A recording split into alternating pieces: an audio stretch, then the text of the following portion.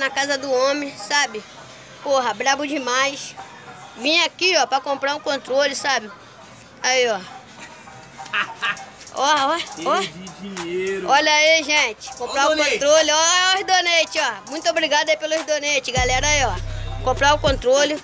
O homem, hein? Ó, olha a moral que eu ganho com esse cara. Não tem como, olha aqui, ó. Olha o camisão que eu ganhei bolado dele.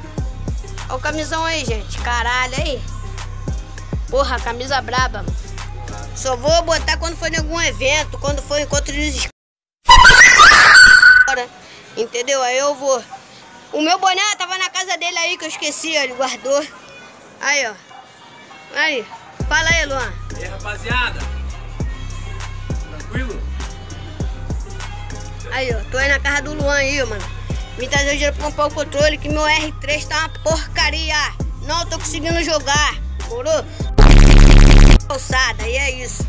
Aí, ó. Entregar o dinheiro na mão do homem, o homem ainda me deu o presente. Olha pra tu ver como é que é, né? O cara é brabo demais, cara, porra. Morou? É brabo demais, parceiro. Aí, olha lá. Olha lá. Olha lá. Cara é brabo, parceiro. É nóis então, galera. Tamo junto aí, valeu? E é nóis. Deixa bastante like nesse vídeo aí, gente. Aí? É nóis.